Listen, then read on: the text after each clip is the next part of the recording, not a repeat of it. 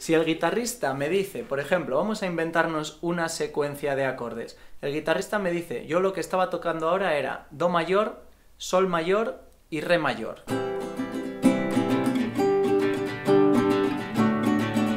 Do mayor, Sol mayor y Re mayor. Esos tres acordes he tocado. Pues venga, yo con el bajo ahora le voy a acompañar. Do, Do mayor, pues me voy a la nota Do. Sol mayor, me voy a la nota Sol. ¿Dónde está la nota Sol? Pues mira, justo aquí arriba del Do. Esa sería Sol. Vale, la cuarta cuerda, traste 3. Y luego el Re, Re mayor. Pues ¿qué hago? Yo me voy a la nota Re. Ahí, a ese em, tercera cuerda, traste 5. Vale, entonces ya está. Do mayor, Sol mayor y Re mayor, yo con el bajo lo acompañaría así. Do, Sol, Re. Y otro Re. Vale, digamos que los acordes, esto eh, no es siempre así, pero bueno, suelen ir de 4 en 4. Vale, cuando tenemos tres acordes, pues muchas veces es porque el último ocupa el doble. Entonces, Do, Sol, Re y Re. Vale, hago 8 notas en Do, 8 corcheas. 8 sol, 8 re y otros 8 re.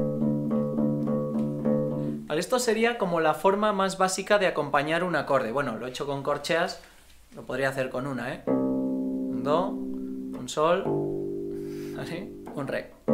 La cosa sería que yo tengo que cambiar a la vez que cambia el guitarrista o que cambia el pianista. Todos los músicos cambian a la vez de acorde. Cuando estamos haciendo una canción entre varios músicos o cuando escucháis una, canción grabada en un disco, ¿vale? Eh, las canciones van cambiando de acordes, van haciendo así secuencias de acordes, pero la cuestión es que todos los músicos cambian a la vez al mismo acorde, siempre, ¿vale? Todos los músicos van haciendo la misma eh, secuencia de acordes.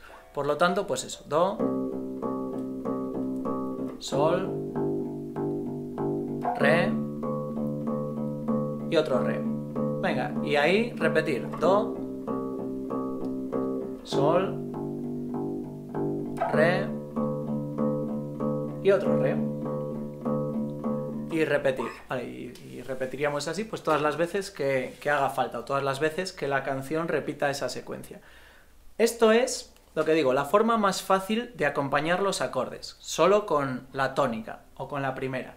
Ahora, vamos a ver un par de, un par de notas que son importantes y que son muy útiles también para, para acompañar acordes, que son la octava y la quinta.